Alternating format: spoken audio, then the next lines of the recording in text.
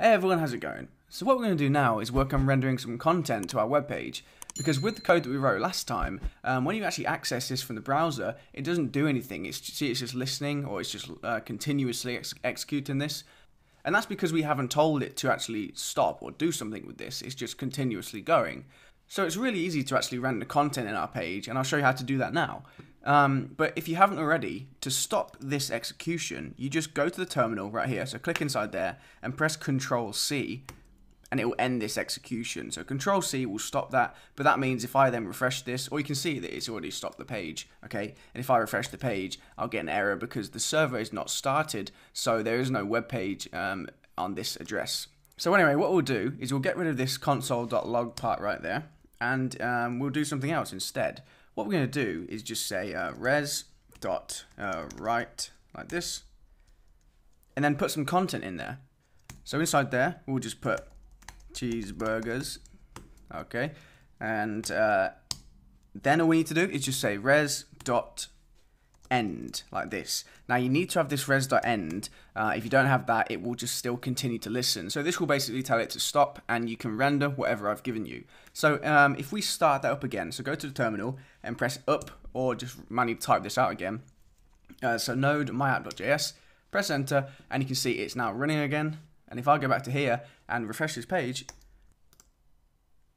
you'll see cheeseburgers.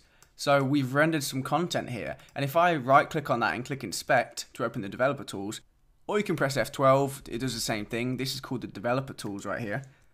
Let me see if I can make that text bigger for you. Um, so you can see it's rendered our content, but it's actually put it inside some HTML for us. So we didn't do that ourselves, but it has done that for us.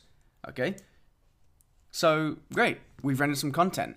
But one thing you should do is tell the browser what kind of content you're sending. So a good habit to get into is to uh, go to here and right at the top we can just say res dot set header, and the header we're going to set is uh, content type. Now look at the uppercase uh, C and the uppercase T in there, uh, and then we're going to do a comma, and then we're going to say text dash HTML oh, HTML like that. So we're telling uh, the browser that the content we're going to give it is HTML code, okay? So don't worry too much about content types and what they are. Uh, that's kind of outside the scope of what I want this course to teach. Um, it's more of an HTTP uh, core knowledge kind of thing. So we're not really going to cover this, um, but just know we're telling the web page that this uh, content we give you is to be rendered as HTML code. So um, let's start that again because if we refresh the page, our changes won't be there. What we need to do every time we make a change in here is we need to stop it using Control C and then rerun it. If we don't rerun it, we won't see the changes.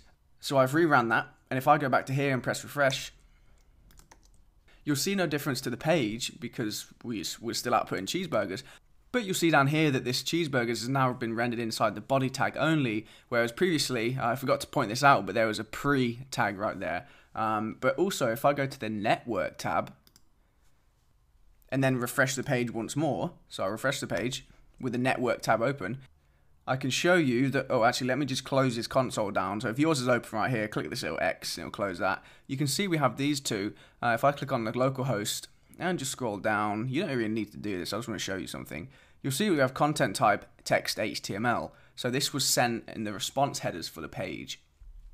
So, like I said, you don't need to worry about this. We're not going to go into too much detail on this. It's really not important for what we're going to cover here. Um, but I just wanted to point it out to you just so you have a kind of uh, understanding of what's going on. Now, uh, one last thing, you can put HTML code in here. You can do anything you want here. So you could you could put some uh,